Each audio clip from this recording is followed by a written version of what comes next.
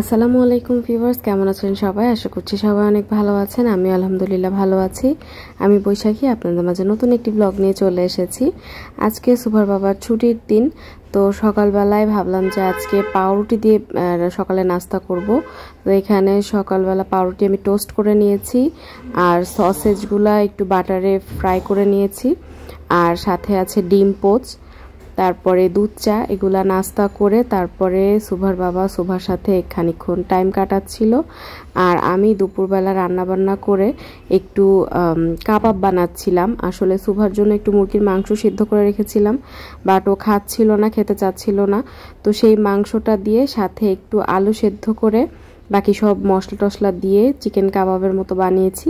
খেতে খুবই মজা হয়েছিল। তো আমি এটা ব্রেড ক্রাম দিয়ে ভেজেছি।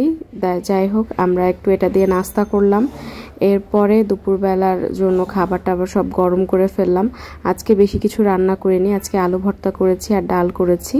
বাকি সব রান্না গতকালকের ছিলই এই জন্য ওগুলাই জাস্ট গরম করে নিলাম আর সাথে ভাত করে নিয়েছি। তো দুপুরবেলা খেয়ে আমরা রেস্ট নিচ্ছিলাম। তারপর বিকালবেলা উঠে এই যে সুভা একটু দুষ্টামি করছে আমাদের সাথে। ওর বাবা বাসায় থাকলে ও খুবই ফুর্তিতে থাকে। এখন হচ্ছে সে খুব মজা করে খেলতেছে। তাকে বলতেছিলাম, আরেকটু ঘুমাও, বাট সে ঘুমাবে না, সে খেলবে এখন। তো যাই হোক, ও খেলতেছে। আমি একটু পরে উঠে বিকালের চা বানাবো। তার আগে ভাবলাম যে ওর সাথে কিছুক্ষণ খেলাধুলা করি, না হলে আমি উঠলে ও চিল্লাবে। এই জন্য ওর সাথে কিছুক্ষণ টাইম কাটাচ্ছিলাম। সাথে ওর বাবাও ছিল। বাবার সাথে খুব মজা করছিল, হাসছিল। যাই হোক, ছুটির দিনগুলো আমাদের খুব ভালো কাটে আর কি। তিনজন মিলে একসাথে সময় কাটানো হয়। খুব ভালো লাগে, কারণ ফ্যামিলির সাথে সময় কাটানোর যে মানে বেস্ট মোমেন্টটা লাইফে হয় না। তো ছুটির দিন দুইটা, এই জন্য মানে আমি, সুভা দুইজনেই খুবই খুশি থাকি। তো ওর সাথে খেলাধুলা করে একটু চা চা বানিয়ে নিয়ে আসলাম আর সাথে পাঁপড় ভাজা। তো এখন এটা দিয়ে আমরা বিকালে নাস্তা করব। তারপর দেখা যাক কি করা যায়। তো এই পাঁপড় ভাজাটা শুভর খুবই পছন্দ, এটা আমার আম্মুরও খুবই পছন্দ। আমার ছোটোবেলায় এটা খুব একটা ভালো লাগতো না বাট এখন খেতে ভালোই লাগে। তো আমরা নাস্তা করার পর, আর সুভার সাথে খেলাধুলা করার পর একটু বাইরে হাঁটাহাঁটি করতে গিয়েছিলাম, সেটার ক্লিপার নেওয়া হয়নি। বাসায় এসে তারপর ভাবলাম যে রাতে ডিনারে একটু হালকা বাট মজাদার কিছু বানাই। যখনই আমার বাইরে খাবার খুব ক্রেভিংস হয় বাট বুঝতে পারি না কি খাব, তখন আমি বাসায় এরকম হজবরল টাইপ কিছু একটা বানিয়ে ফেলি।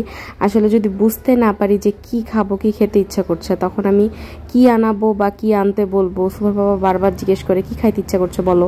কি খাইতে ইচ্ছা করছে বলো? বাট আমি বুঝতে পারি না যে আমার কি খাইতে ইচ্ছা করছে। তো তখন আমি বাসায় এরকম কিছু একটা বানিয়ে ফেলি। এখানে মাশরুম আছে, তারপরে ক্যাপসিকাম আছে, সসেজ আছে, গাজর আছে এখন সব কিছু আমি বাটারে হালকা করে ফ্রাই করে নিয়েছি। এরপর আমি আলু কিউব করে কেটে নিয়েছি। আলুগুলো একটু তেলে ভেজে নিচ্ছি। আলুগুলা ভাজা হলে তারপর আমি এগুলা সব একসাথে মিক্স করব। আসলে আমি মিট বক্স বানানোর চেষ্টা করছিলাম বাট চিকেন আবারও ফ্রিজ থেকে বের করে আমার রান্না করতে ইচ্ছা করছিল না।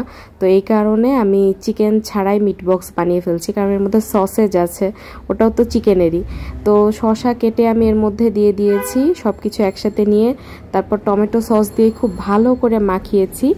এরপর আমি এর উপরে চিজ কেটে দিয়ে দিয়েছি আর সাথে একটু চিলি ফ্লেক্স এটা একদম তৈরি, এখন আমি জাস্ট ওভেনে দিব।